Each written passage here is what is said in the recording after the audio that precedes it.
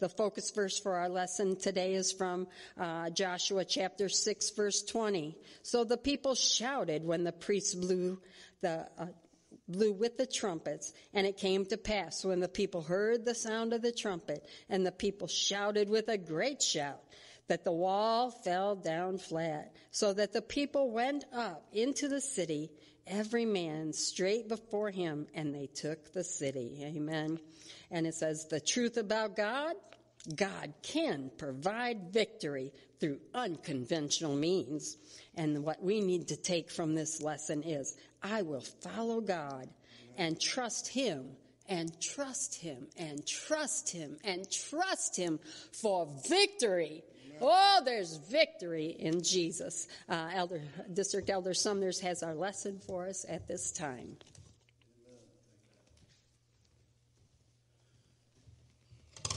Amen and praise the Lord, everybody. Amen, amen. Uh, quarterly theme's been talking about victory, victory, victory in God, victory in Jesus. Amen. And we've been studying about the history here of Israel, uh, having been delivered from the bondage of Egypt and brought out miraculously uh, by the hand of the Lord, the leadership of Moses, brought us, brought them out of Egypt, and following the uh, the command of God, uh, bringing them out, bringing them through the Red Sea, and taking them to the wilderness, um, and being in the wilderness as we've been learning about how all of that came about. And it's amazing that when you think about that when they left Egypt, they could have been in the promised land in a very relatively short time. I mean, there's different opinions, but all of them somewhere around 30 days. Uh, course, of when they actually left uh, the Red Sea, and, and, and, yet it took them 40 years.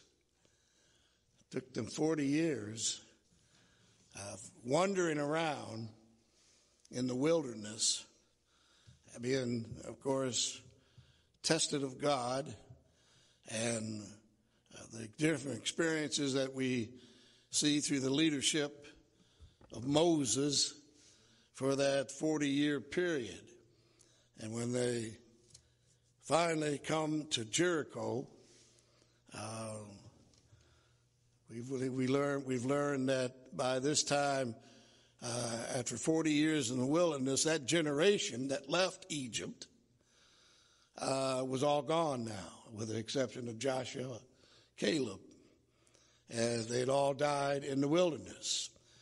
And a new generation by now has risen up, a generation that when we get to our uh, lesson today in Jericho, uh, by the time they get here to Jericho, all of these, all of this generation had suffered death. And uh, this is what God told them. God is a truthful God. Amen. He tells the truth. And so, uh, however, we see still yet, we see the, the love and the mercy of God. And um, that He would, with patience, uh, show us the way. And uh, we, we see that finally the day would come Moses finally passes away. And he never got opportunity to go over into Canaan.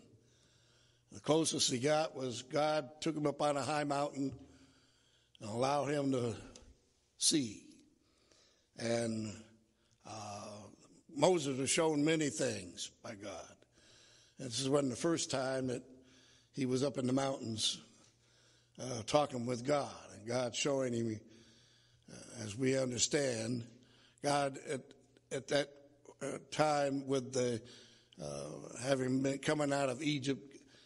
God uh, at one point showed him all of his glory uh, in the, in the passage of time, and even to our day, Moses was able to see our time, and so. Uh, so Moses certainly knew what was ahead for Israel. But of course, as we remember studying that, Moses himself was not allowed to go on over into the land of Canaan uh, because of uh, some mistakes that he made. God, upon that, and it's don't get don't get the scripture wrong. It's I believe Moses is saved because the scriptures declare him. Uh, Jesus speaks of him. The scripture speaks of him that he's going to be uh, around for eternity. So, but he did have to pay the cost. It, there's always a price to pay when you commit sin.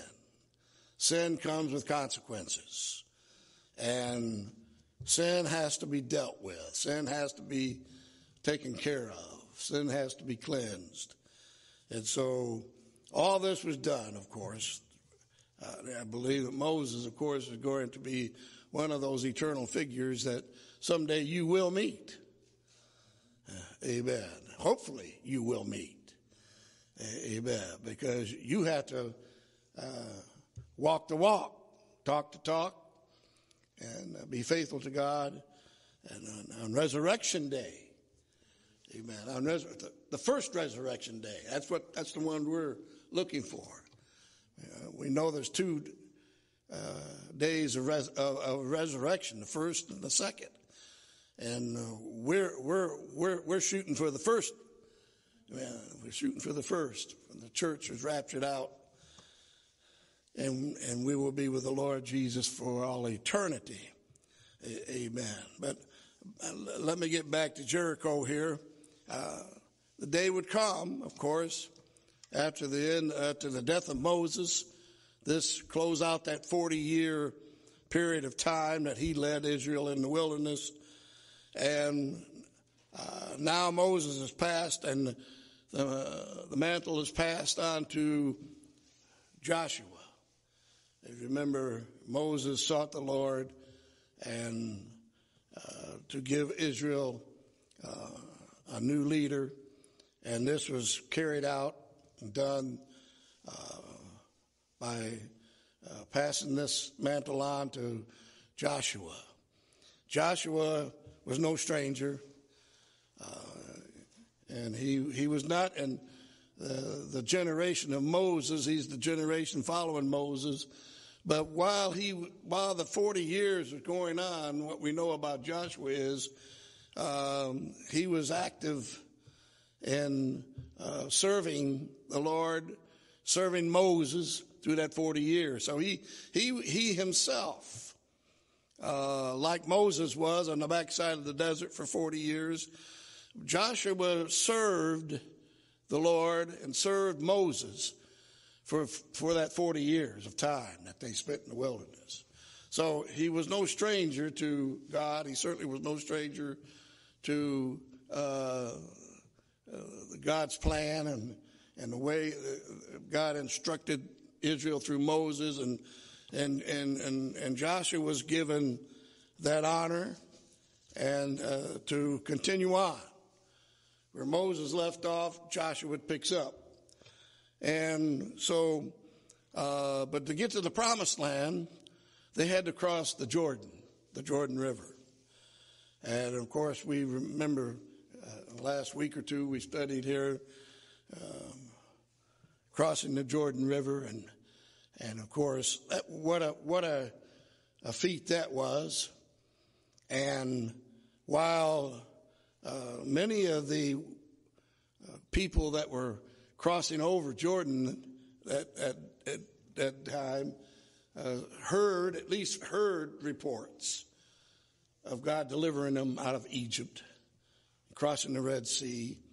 But most of them, or not almost all of them, they didn't, they weren't eyewitness to it. They were wandering around for 40 years in the wilderness. And so, uh, many, many of those, not all of those, of course, of that generation passed away. And so we're seeing a new day.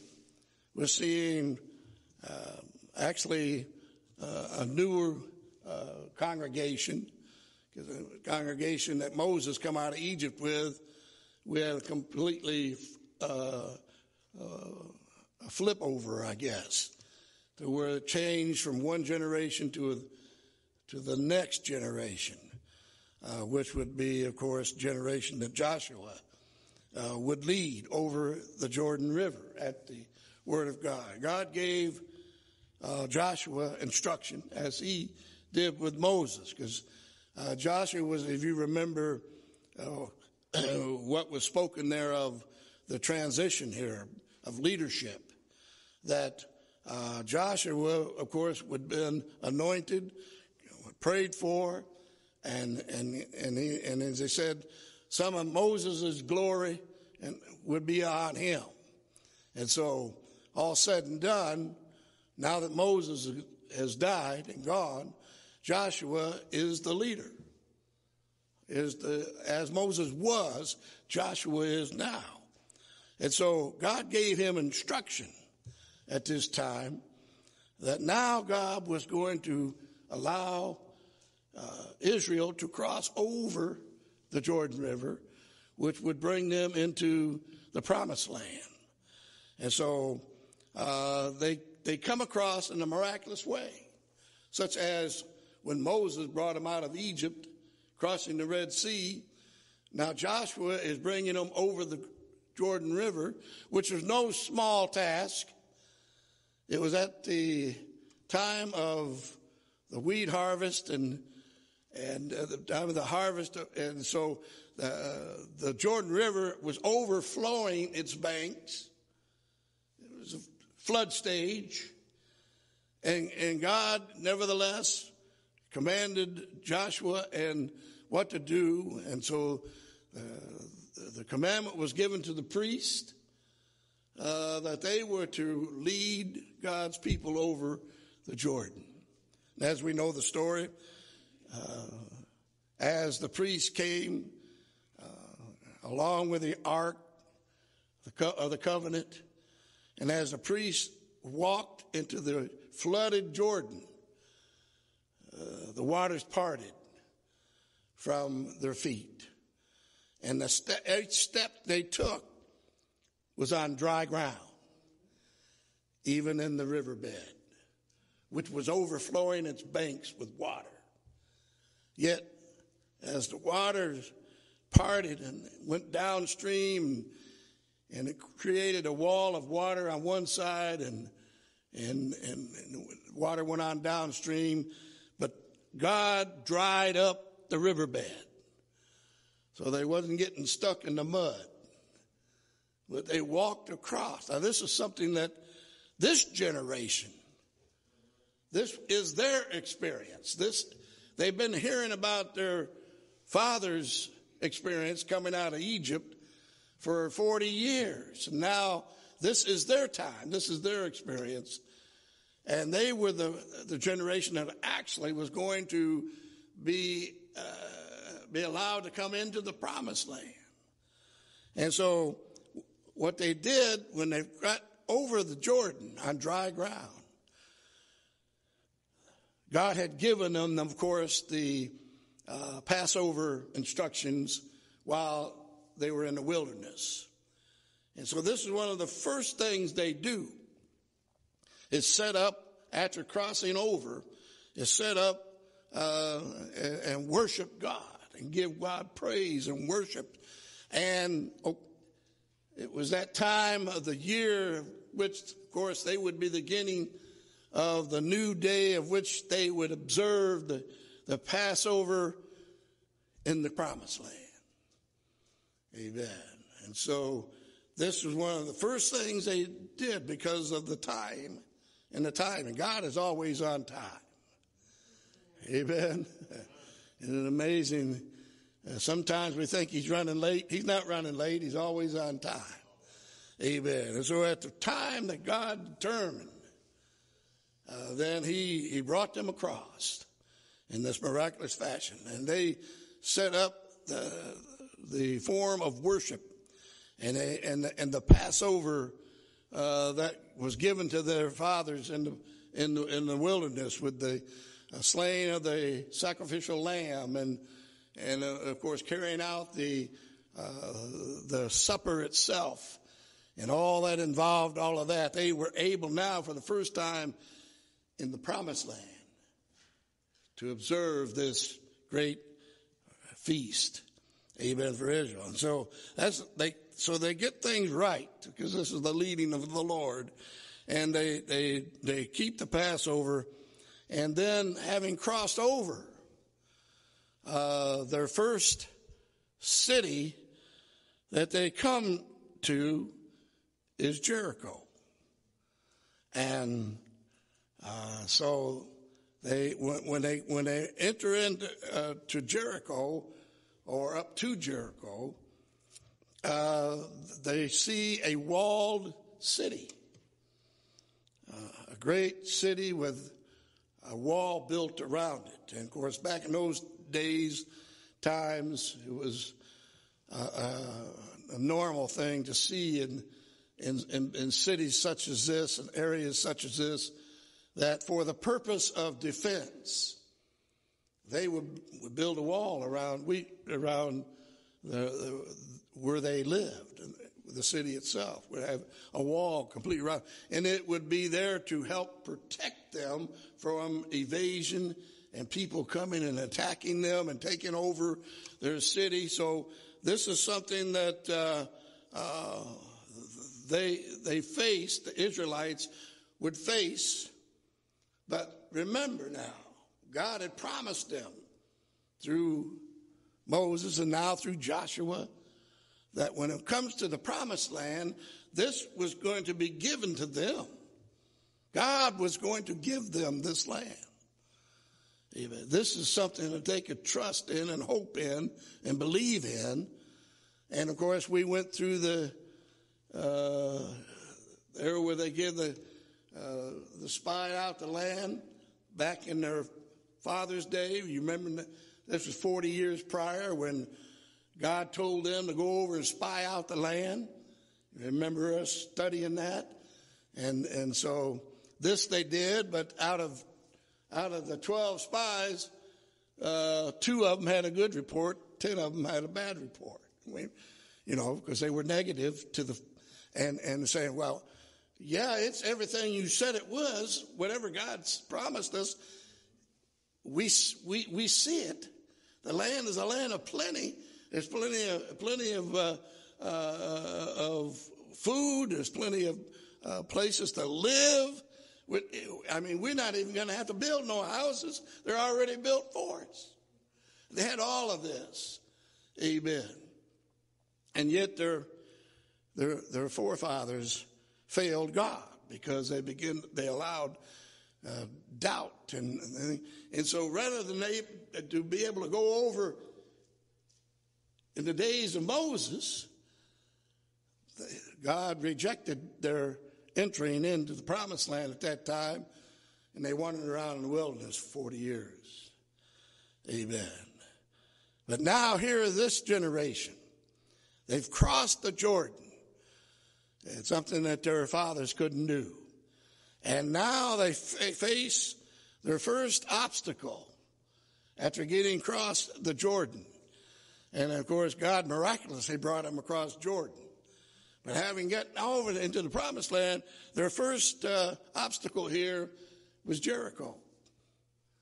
And an obstacle it was because they were, it was a well built city, a well built protection device, such as the walls. Amen. We're hearing a lot about walls in this day and age, aren't we? Uh, and you would think they, they would, walls would be kind of obsolete by now, and and um, pretty much they are. But uh, uh, they still show, even in this day and age that we live in, they still show there is there is some protection or there is something uh, that, that, in the sense of a wall, that can be constructed that will at least hinder uh, people from coming on in uh, to the country. Of course, by now we ain't going to spend all our day discussing all that, uh, but I'm just making the point that uh, as as the walls was an obstacle back there for Israel, and, and being able to uh, get and do what they want, uh, we're seeing even in this day and age that was thousands of years ago, and yet even in this day we're still talking about uh, walls and.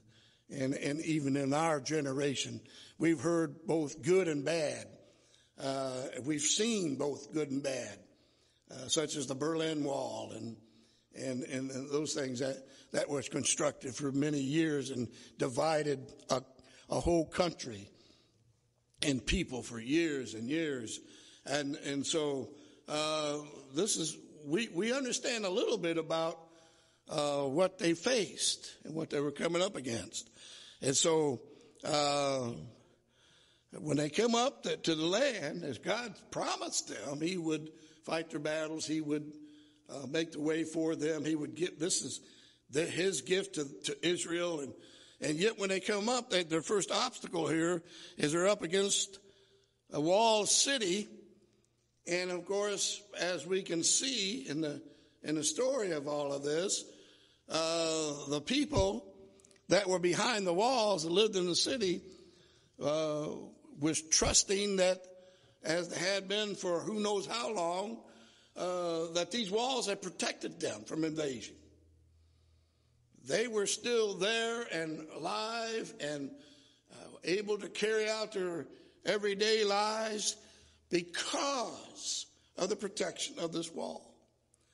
And so, uh, rather than uh, uh, take counsel with Israel and, and, and yield and surrender, because I believe they were given an opportunity to surrender.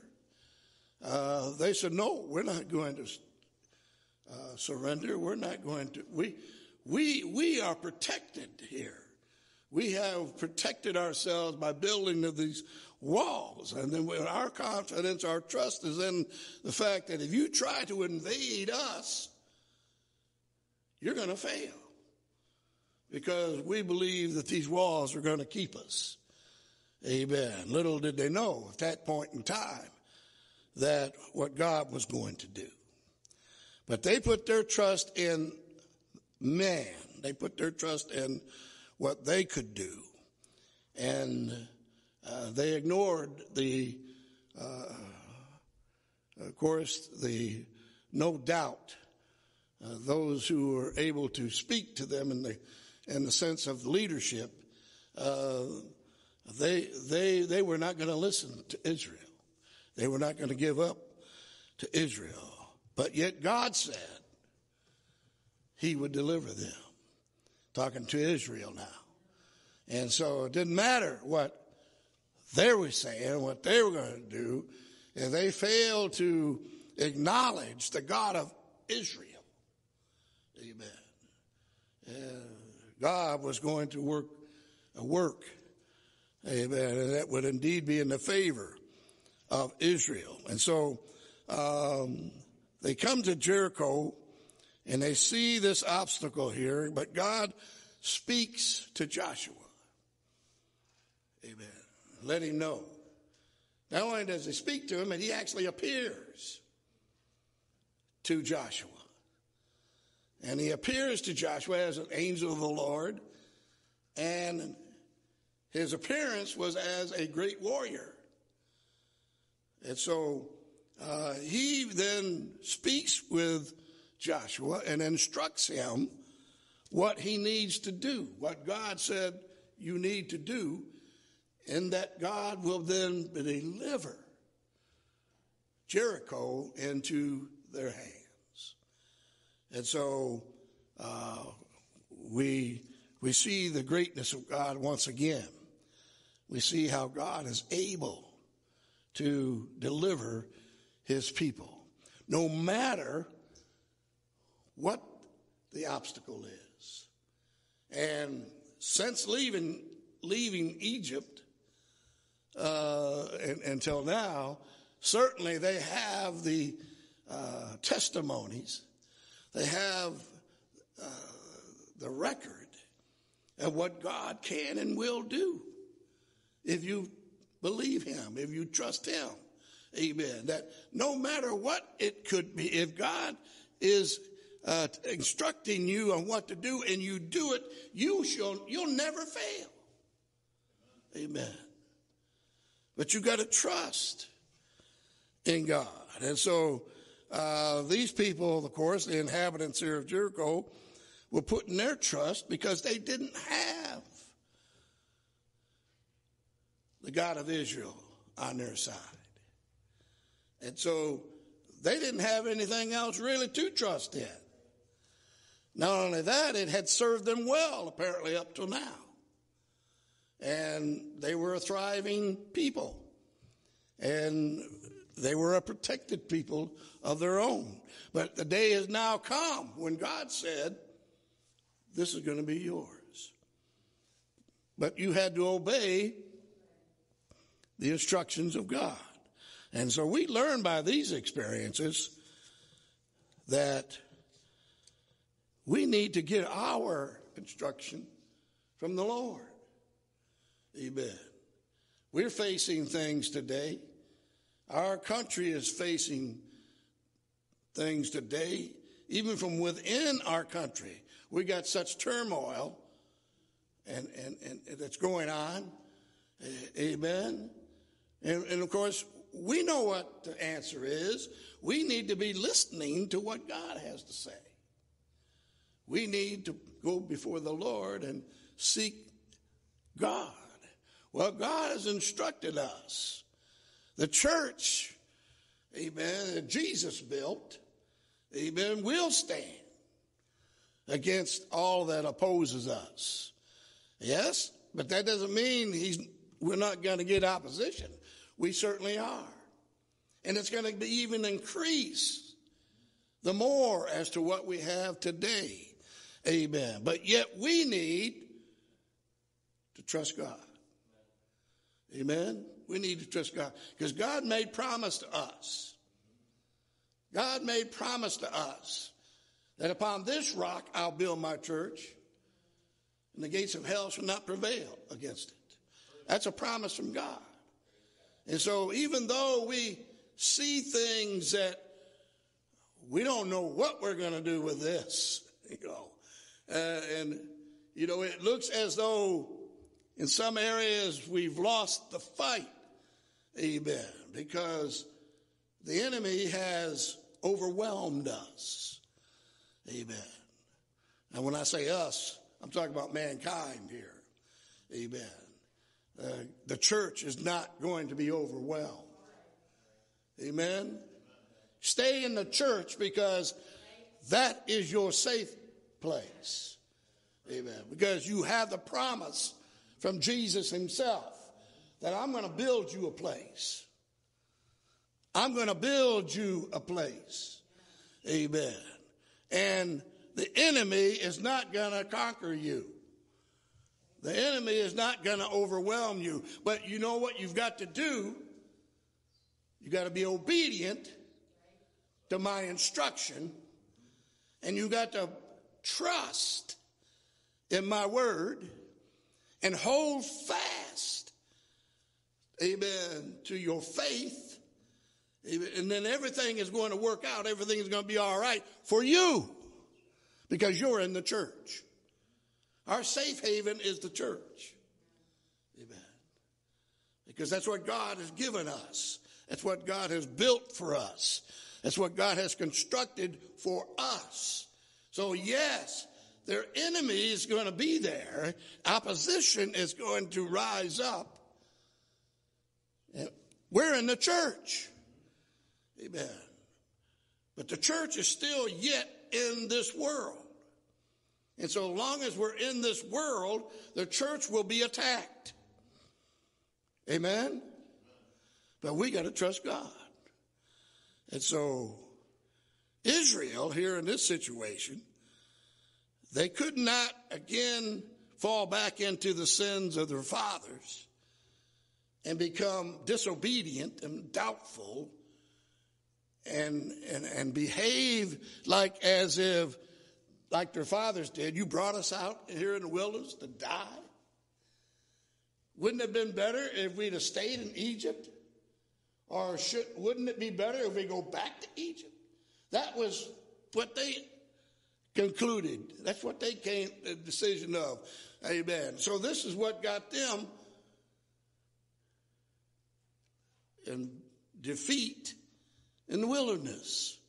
Amen. But this generation now, we have, amen, they have an advantage here. And in that they again see the hand of God. God has brought them out miraculously. And what we see here, what would transpire here, uh, unlike their fathers did with the wilderness, they trusted God. They at this point here with Jericho, when they, when they come up against Jericho, they seen that, how are we going to overcome that? Amen. But Joshua rose up as the leader and said, This is what God said. This is what we're going to do because this is what God said. Amen. And as silly as it may sound, this is what God said do. Amen. Because somebody might come up with the thought, well, what good's it going to do to go and march around the city? Amen. God gave them certain instructions. And, and so what somebody might say, what good is that going to do? But they didn't argue. They did it. Amen. They were, they were believers at this point having just come across the river Jordan in a miraculous fashion, and now being encouraged and assured by the leadership of Joshua, amen, they, they were on fire for God at this time. Amen. And they trusted in the Word of God. They trusted in the um, direction of God. And they, and so uh, God, of course, give them direction and, and, instruction here as Joshua relays this to them. And so, in our text here, it says, Now Jericho was straightly shut up because of the children of Israel. None went out and none came in. God told them to surround the city. Now, I think if, if I understood some of the comments I've read from a source, another source here, that the Jordan River uh, was about, depending on where they actually crossed the Jordan River, it could have been as little as two miles or as much as five miles from Jericho to the river. That's a relatively short space. That wouldn't take them 40 years to, to, to get to uh, Jericho. But, uh, uh, anyways, um, got, they were instructed by Joshua what to do. And so this is what uh, we don't have time to go into all that detail. But uh, following what this, the text here says, Jericho was straightly shut up, meaning uh, they were surrounded by, by God. God told them how to do it. And they, they surrounded the walls of Jericho uh, around those walls. And so that nobody could get in and nobody could get out at this point. And so uh, it said, because the children of Israel, none went out, none came in. And the Lord said unto Joshua, See, I have given unto thine hand Jericho and the king thereof, and the mighty men of valor. Simple, simple manner of, of uh, what, what, how are we going to do this? And God said, well, we're going to surround the city. And we're going to take control of what comes in and what goes out. Amen. Now, this would nullify, eventually, certainly, this would nullify the protection of the walls because eventually they're going to have to get out. Amen. Eventually the supplies was going to run out. Whether it be food or whether it be ammo or whether, whatever, regardless of what it was. Uh, and a simple, in a simple military procedure here, simple as, you know, when you get to looking at it, God already given victory here. Amen. I have given you, I have given you, he says, uh, into the hand Jericho and the king thereof and the mighty men of valor. You, you've got them surrounded. You've got them trapped. They thought they were, they put all their confidence and stuff in this wall. And God, just a simple measure here, uh, God is a wonder. Amen. God is a wonder. He said, and you shall compass the city, all you men of war, and go around about the city once. Thus shalt should thou do six days.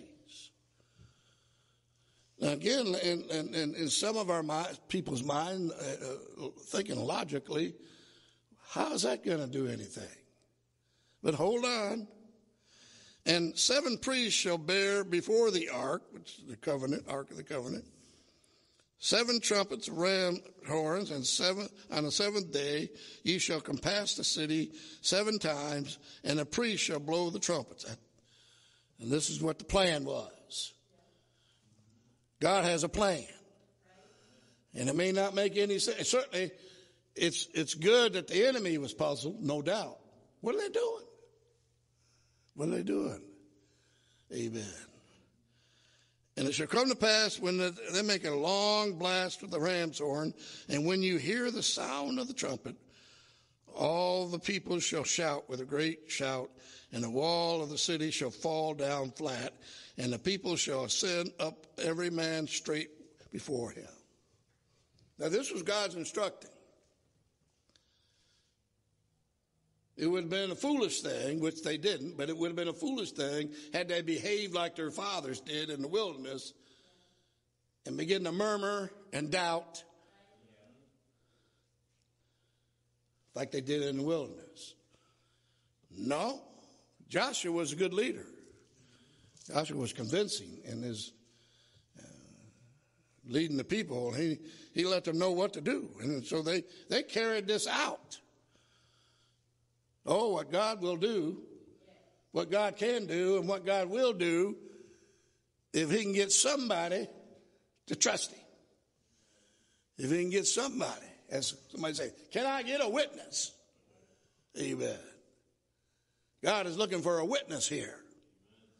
And of course, they're going to witness by the fact that they're going to be obedient to God's instruction. Now, now common sense, or sometimes you know, it, it, it didn't make much sense. Simple logic here. What is that going to do? What, how is that going to give us the victory? How are we going to win the city by marching around it? Amen. Because at this point, there's no plan in the offensive means of attacking this city. There's nothing said in God's plan here that you're going to wait till dark and attack or anything like that. You're just going to march around the build, around the, the city. You know, how's that going to do anything? But they remained faithful, and Joshua the son of Nun called the priest and said unto them, Take up the ark of the covenant. Now, we, we could dwell on a lot of these points here. Uh, there's a lot here in these verses that we're not going to be able to cover, but we can see the importance that God places upon the covenant that he gave to Israel. The Ark of the Covenant was most precious uh, from the time that it was given uh, back in the days of Moses throughout the remainder of the wilderness and now Going on over into Jericho, this, this is still a very important uh, part of uh, God's relationship, uh, God's covenant. And he said, and let seven priests bear seven trumpets, the ram's horns before the ark of the, of the Lord. And he said unto the people, pass on and compass the city and let him that is armed pass on before the ark of the Lord. This is just setting things in order. And it had certainly had its effect that God was looking for. Uh, the military folks went fr- out front and, and they were there for, if needed, for protection, for defense mechanism in case uh, the, the, inhabitants of Jericho would come up with some kind of uh, plan to uh, take them out. They, God had this set in order. And, and, no doubt the way it was all carried out, it, it, it, caused no doubt even fear in the hearts of the Jericho inhabitants. What did they do? They didn't, for one thing, they didn't know what their plan was. They didn't know what they were going to do or how they were going to do it, but they're definitely going to do something. Amen? And so, and he said unto the people, pass on and compass the city. And they did that. And let him that is armed pass on before the ark of the Lord. And it came to pass when Joshua had spoken unto the people that the seven priests bearing the seven trumpets of the rams passed on before the, the Lord and blew with the trumpets and the ark of the covenant of the Lord followed them. Of course, this was carried on the shoulders of the priest. And the armed men went before the priest that blew with the trumpets. They went first. And the re, reward, or, the, or the, there was those, of course, you had your front line, and you had the priest with the covenant, and then following them, you had the rear line, which is military again. And he said, and after they came to the ark, the priest going on and blowing with the trumpets. Now you remember the story. The first six days, you to do you, you to go around in this fashion, go around the walls of Jericho one time for six days. And then on the seventh day, you're to go again around the city, but this time you'd go seven times around the city. And then God gave them an instruction that what to do as, as far as once you uh, did it on the seventh time, then the, the priest were to blow the trumpets. And so up to that time, there would be no talking, no noise, just walking around. But on that seventh, we wait to hear the trumpet of the Lord. We're waiting to hear that trumpet. Amen. We sing about it. When the trumpet of the Lord shall sound. Amen. We, there's a lot of testimony and we're waiting for the trumpet. God said it, there would be a trumpet sound. And so we're waiting to hear that trumpet of the Lord and the trumpet of the Lord shall sound. Amen. We'll be caught up, you see, to meet him in the air. And so they were to do this, and then on that seventh day, and on that seventh uh, trip around the walls of Jericho, the priests were to blow the trumpet. And when the, ple- uh, the priest, the priest blow the trumpet, all of Israel was to shout Amen. Along with the blowing of the trumpets. And the walls of Jericho will fall down. Simple, isn't it? Uh, quite a thing, though. Amen. And they did that. And they got the result that God said you will get. And the walls of the city that protected the inhabitants of Jericho were taken out of the uh, uh, uh,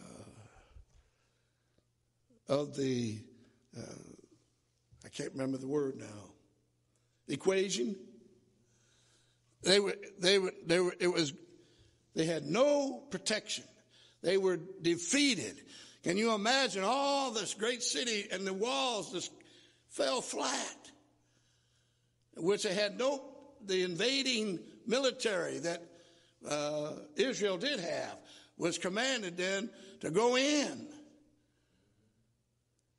And they went in and slew the inhabitants of Jericho, even with the exception of Rahab, the harlot.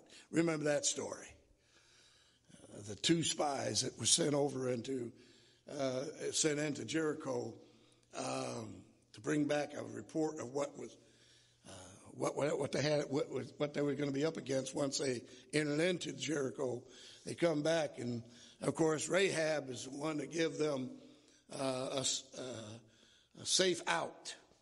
And let them to go down by the wall, and they were uh, they were spared from being found out. And and so when it came time then for this to take place, they, uh, uh, Joshua gave instruction you're to kill everybody.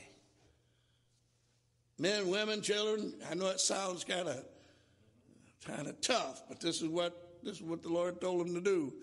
And everything had to die. Everything had to be eradicated.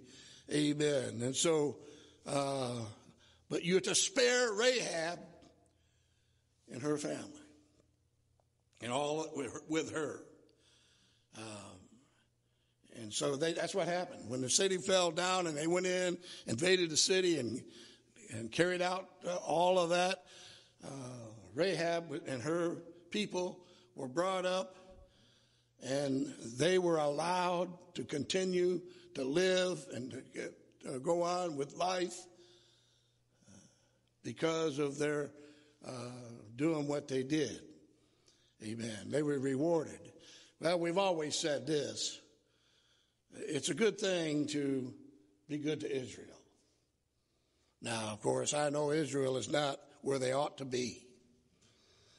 They rejected the Savior, they rejected the Messiah. And uh, they've paid for it, and they're going to continue to pay for it. Uh, but where should we stand? I always said this Israel's in God's hands. And while I don't uh, uh promote or follow the, to this day as a nation, to this day they haven't received and accepted Jesus as their Messiah. That's their mistake. Amen. But nevertheless, they're still God's chosen people. And that's where I say, hands off. You preach the truth, you live the truth, you testify to the truth. I've met with rabbis and talked with them and and and you know, I, I've certainly I think it's helped me in trying to understand uh, somewhat about how uh, Israel believes and, and and so forth. But uh,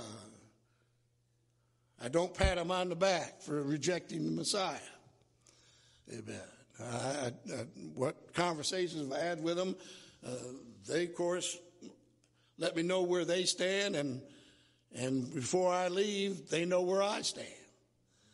And so, but uh, God is going to take care of Israel as a nation. It's spoken of there in the book of Revelation. God, it said that Israel is going to be saved in a day. Israel will be saved in a day. He's talking about the nation now. He's not talking about individuals. Because individually, the church started with Israel. Individually, it all began at Jerusalem among the children of Israel. Amen. And so it's, it's going to end up that way as well. Israel will be saved in a day. Amen. And when, but when we all get to heaven, whether you're Israel, whether you're a Jew or whatever you are, if you fulfill that which God is calling upon you to do, and that you will believe in the death, burial, and resurrection of Jesus, you'll be saved.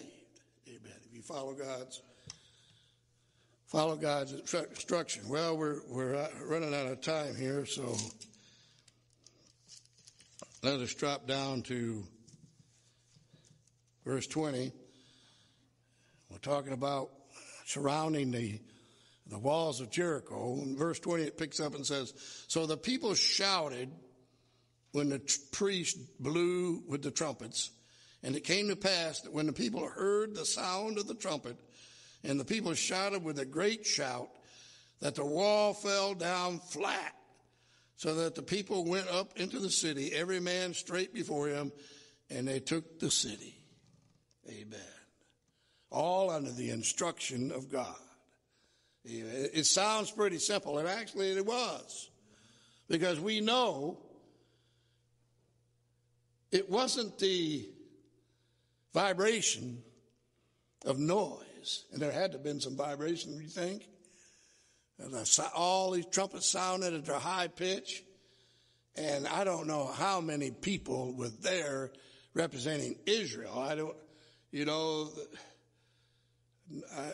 probably at least a million people or more. Uh, and you, you take, and they would have shout at the top of their lungs. They got some vibration, no doubt. But I know this: it wasn't the vibration that should knock down the walls. It was God. Amen. They just obeyed. Thank you, Jesus. They just obeyed. And God backed up his word. And so the walls came down and they utterly destroyed all that was in the city, both man, women, young, old, ox, sheep, ass, with the edge of the sword. But Joshua had said unto two men, to the two men that went and spied out the country, go into the harlot's house. He sent these two right back in there, no doubt because she would be familiar with the with with these two because she had dealt with them previously. So it doesn't surprise me that he would send these same two men back in there uh, to deal with this harlot. Go into the harlot's house and bring out thence the woman and all that she hath, as you swear unto her. And the young men that were spies went in and brought out Rahab and her father and her mother and her brethren and all that she had, and they brought out all the kindred and all them that were out the camp of Israel. I can just say this we're Gentiles. Amen. They were Gentiles, these people of Jericho. But God is willing to save whomsoever will. Amen. God is able, will save whomsoever will. Whomsoever will come unto me, Jesus says. And Rahab, the harlot, and all that she had, all of her people, amen. They, they had to believe. They had to, they had to be, well, they were obedient. They fell upon the mercy of the Lord. They fell upon the mercy of God and they were spared. They were saved. And they burnt the city with fire and all that was therein, only the silver and the gold, the vessels of brass, of uh, iron, and they put it in the treasury of the house of the Lord. And Joshua saved Rahab, the harlot, alive, and her father, household, household, and all that she had dwelt with Israel and the city unto this day, because she had the messengers which Joshua sent to spy out Jericho. I looked that up somewhat, and the old original Jericho, as we just read here, was utterly destroyed. Now, I don't know just when, but many, many years later, they would build a new, build up Jericho again, but not on that exact spot. And so they still have a Jericho, although I think it's called something else. But they still have a Jericho over there to this day. Uh, amen. It's not the one that was destroyed, of course, but it was it, it was rebuilt. Which Joshua sent to spy out Jericho, and Joshua adjured them at the, at that time, saying, "Cursed be the man before the Lord that riseth up and buildeth this city Jericho. He shall lay the foundation thereof in his firstborn, and in his youngest shall son shall he set up the gates of it. So the Lord was with Joshua, and his fame was noised throughout all of the country. And certainly this became a great testimony to this day. When you talk about biblical stories, biblical accounts, certainly this is one of those that are frequently referred to. And uh, it all brings glory to God. Glory to God. It, it, you might wonder sometimes why God chooses to do things in the way that He does and, and gives instruction to do things in the way that He does. The bottom line comes back so that when it is done and it is carried out, man can't say, I did it. Man can't say, I did it. Now, we've all perhaps had some experiences. I'm sure you have. We all have some testimony that when we speak, when we witness, when we talk about it, it's done. God does things in our lives in such a manner and fashion that when we testify of that, we have to say, we have to acknowledge, man didn't do it. Man didn't do it. God did this, such and such and such, and, and we got such and such and such a res, uh, result. And you know what? It was a miracle.